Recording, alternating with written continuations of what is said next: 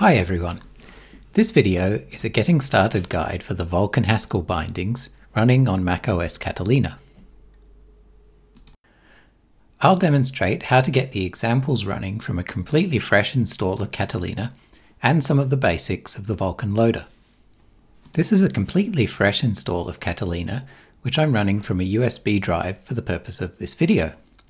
I'm also capturing HDMI output via an external recorder. I'm going to use the Homebrew package manager for the dependencies in this video because it's a simple setup. There are several alternatives to Homebrew which might be more desirable, depending on your preferences. I'll start by installing Homebrew itself.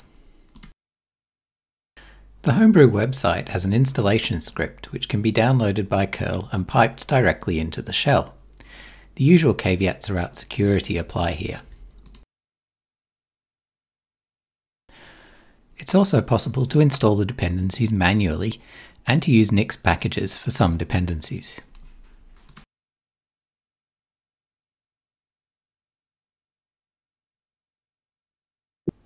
Now that Homebrew is installed, we'll install package config, SDL, and stack, which are the dependencies we need for the Vulkan API examples.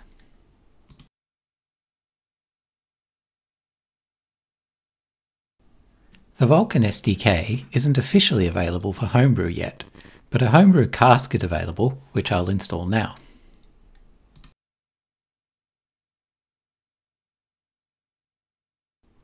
I'm installing the cask using the No Quarantine option to bypass the gatekeeper security of macOS.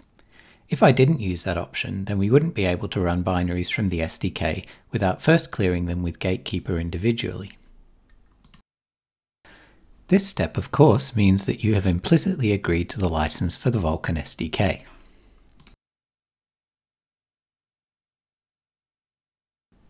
We can see that the Homebrew Cask has installed files under the user local share Vulkan directory.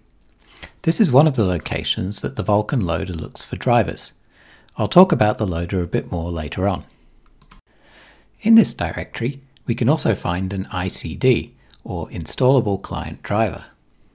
For the macOS SDK, the ICD is MoltenVK, and if we inspect the JSON file, we can see the location of the shared library. Next I'll create a workspace directory.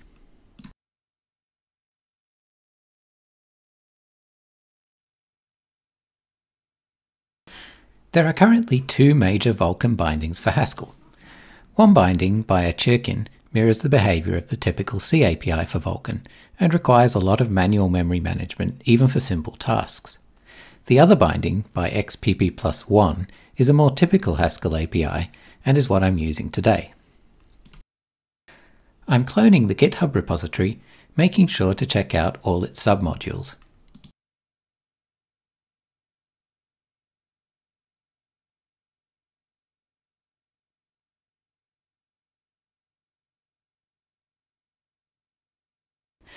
Next, building the API and its examples is as simple as using the stack build command. Of course, if you would prefer not to use stack, this step can also be accomplished using the Cabal system directly.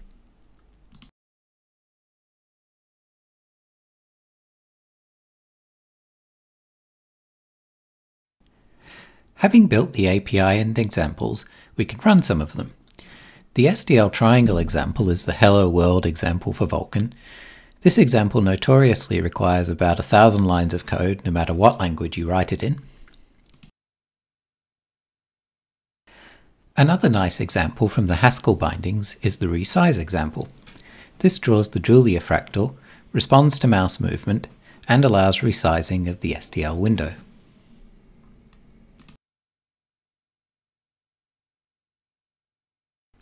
Now I'll talk a bit about the Vulkan architecture, because it's a bit different from what might be familiar from OpenGL. There are several good YouTube videos describing the Vulkan loader, and I won't try to cover the same material as those.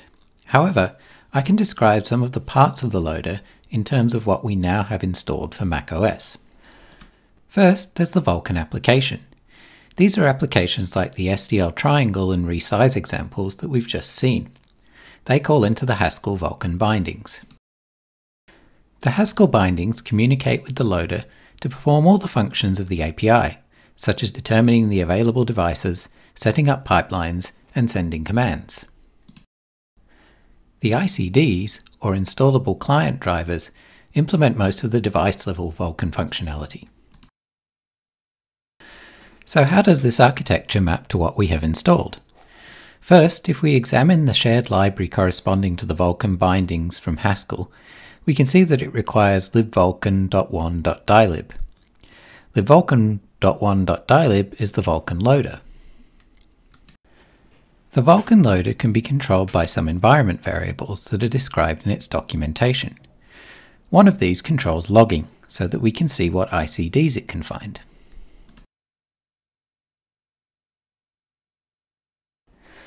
If we run the SDL triangle example with vk loader debug set to all, then we can see the search paths it checks for ICD manifest files.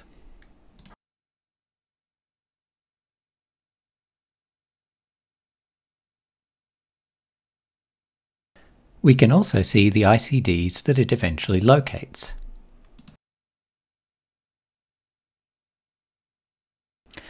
For macOS, the LunarG SDK only comes packaged with MoltenVK as an ICD. MoltenVK is built on top of Apple's Metal graphics framework and so enables hardware accelerated Vulkan. However, there is another software-only ICD that can run on macOS called Swift Shader, which is maintained by Google. I'm going to check out and build Swift Shader in this step to show how an alternative ICD can be used. An ICD like Swift Shader might be useful for environments where Metal is not available, such as continuous integration or virtualized environments. After building Swift Shader, I'll look for where it stores its Vulkan ICD manifest.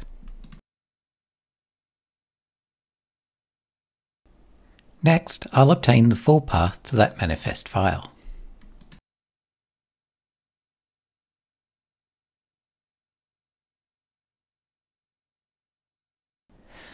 We can override where the Vulkan loader looks for ICDs using the vk file names environment variable.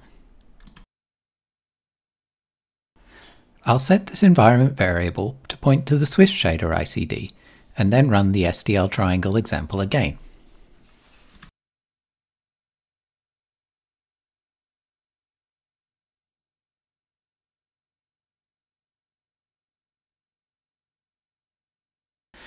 Now we can see that the Vulkan loader has found the Swift Shader ICD and the example has selected the Swift Shader device.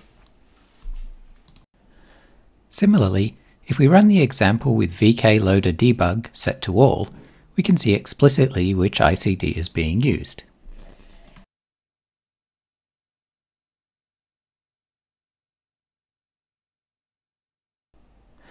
A final item worth mentioning is the difference between the version of the Vulkan loader and the version of an ICD.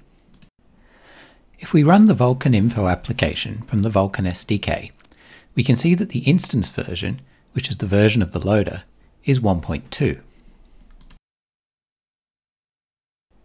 However, the version of the physical device, which comes from the ICD, is only 1.0. In this case, the physical device is a discrete GPU installed in my laptop.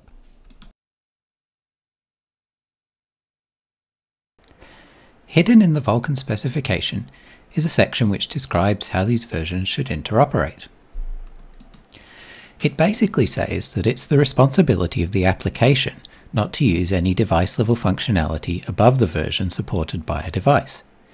This is very important in a Haskell context because it's possible to compile code which will crash with a segfault if it uses capabilities not present on a device. That's it for this video. Hopefully this will help people get started with the Haskell bindings on macOS.